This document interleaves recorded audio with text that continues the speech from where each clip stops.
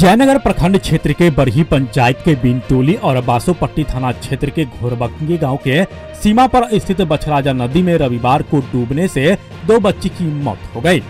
मृत बच्ची की पहचान जयनगर थाना क्षेत्र के बिनटोली निवासी शंभु मुखिया की 14 वर्षीय पुत्री काजल कुमारी व सैन्य मुखिया की 13 वर्षीय पुत्री रूबी कुमारी के रूप में की गई है। जानकारी के अनुसार दोनों बच्ची नदी किनारे घास काटने गई थी। उसी दौरान दोनों बच्ची नदी के एक किनारे से दूसरे किनारे पर जाने के लिए नदी में छलांग लगाया। उसी दौरान दोनों डूब गए। रविवार को लाश की काफ़ी खोजबीन ग्रामीणों के द्वारा की गई, परंतु लाश नहीं मिला। सोमवार को ग्रामीणों ने काफ़ी मशक्कत के बाद दोनों की लाश को खोज लिया। घटना को लेकर गाँव में चर्चा का विषय बना हुआ है। बैरा पंचायत के मुखिया ब्रज किशोर यादव व बरही पंचायत के मुखिया जामुन चौधरी ने पहुंचकर परिवार के लोगों को हर संभव मदद का भरोसा दिया। साथ ही सरकार के द्वारा मिलने वाले आर्थिक मदद को लेकर सहयोग करने का आश्वासन दिया। वहीं पुलिस ने सबको कब्जे में लेकर पोस्टमार्टम के लिए सदर अस्पताल मधुबनी भेज दिया है। मिला क्या कैसे क्या हुआ? जब हम लोग अपने पंचायत में थे तो हमारे पंचायत के वार्ड नंबर एक बीन टोल है। बीन टोल में शंभू मुखिया की पुत्री काजल कुमारी जो उम्र करीब लगभग चौदह बरस और सैनी मुखिया इनका उम्र पुत्री का नाम पुत्री का नाम है रूबी कुमारी। और उम्र बारह बरस। इनकी जो है गई थी घास काटने के लिए। फिसल जाने के क्रम में इनकी जो है नदी में डूबने से मौत हो गई है। हम तुरंत प्रशासन को सूचना किए। प्रशासन के द्वारा एसडीआरएफ की टीम की भी व्यवस्था की गई थी। लेकिन हम तमाम ग्रामीणों के सहयोग से पूरे मकसद करने के बाद करीब एक लाश हमको सात बजे मिला और एक लाश नौ बजे मिला।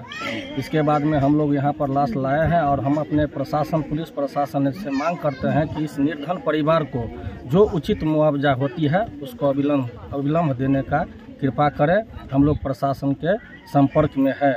तो हमें उम्मीद है जो आपदा विभाग से जो भी राशि मिलेगी इस निर्धन परिवार को मिलेगी। मेरा नाम हुआ जामुन चौधरी मुखिया प्रतिनिधि बढ़ी और बहुत ही दुखद घटना है। हमारे सम्मानित मुखिया प्रतिनिधि, बड़ी पंचायत के जामुन चौधरी जी भी हैं। कड़ी मेहनत से कल दुखद घटना हुआ बच्ची घास करने गई थी। और वहीं धार में जो बछराजा नदी है, वहीं पर जो है सो उनकी डूब के मृत्यु हो गई, लेकिन लगातार ग्रामीणों के सहयोग से तलाश की जाने के बाद और अभी ये दो दोनों बच्ची की लाश मिली है।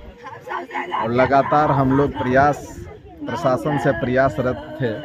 प्रशासन का भी सहयोग रहा और अभी इनका पोस्टमार्टम होगा। हम सरकार से मांग करते हैं कि आकस्मिक मृत्यु से जो लाभ मिलता है, वो तो मिले ही, लेकिन जो भी सामाजिक लोग हैं, जो भी सामाजिक कार्यकर्ता हैं या समाज से जुड़े लोग हैं, उनसे भी आग्रह है कि ज़रूर इस परिवार से मिले और इस परिवार को आर्थिक मदद करने का सहयोग करें। किस तरह से आपको सरकार द्वारा इन लोगों को लाभ प्रदान किया जाएगा? क्या सहयोग मिला जाएगा सरकार देती है चार लाख रुपया तो पोस्टमार्टम के बाद मिलता है।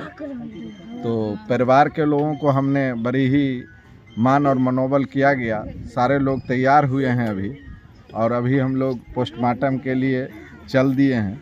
पोस्टमार्टम के बाद सरकार द्वारा जो आपातकालीन मिलती है आकस्मिक तो वो चार लाख रुपया की मुआवजा की मांग करते हैं। इसके अलावा जो भी सरकार द्वारा राशि निर्गत होगी, उसको अविलंब से अविलंब इस परिवार को दिया जाए। पंचायत के भी मत से सम्मानित मुखिया प्रतिनिधि जी हैं, जो अभी तत्काल कबीर अंतोष्ठी योजना और जो भी लाभ है, वो अविलंब इनको दिया जाएगा ले लीजिए जामुन आप हमारे मधुबनी न्यूज़ को फेसबुक पे देख रहे हैं तो पेज को लाइक करें यूट्यूब से देख रहे हैं तो हमारे चैनल को सब्सक्राइब करें और बेल आइकन को दबाना ना भूलें।